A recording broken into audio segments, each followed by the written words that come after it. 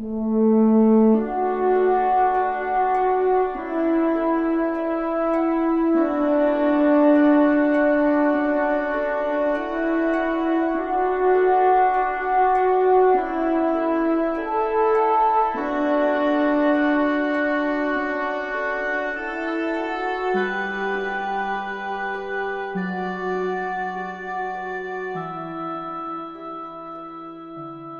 is the Batson 843 Pink Blank.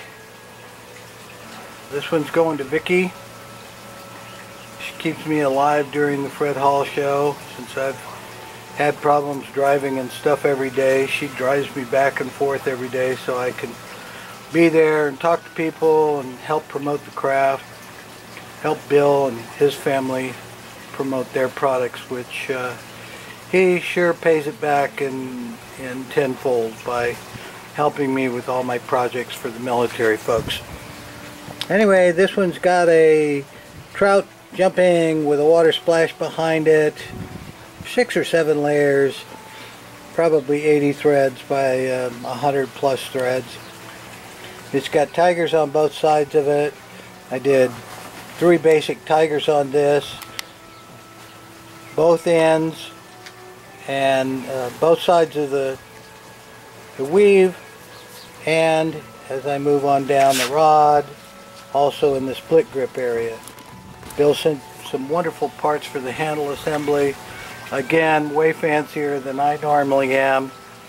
Uh, usually my fancy is all thread work but thanks to Bill I got some wonderful parts to work with here Anyway, it's going to be a nice freshwater rod for her. She's always wanted a, a pink rod. I'm probably also going to put some water slides on it with the breast cancer ribbon on it.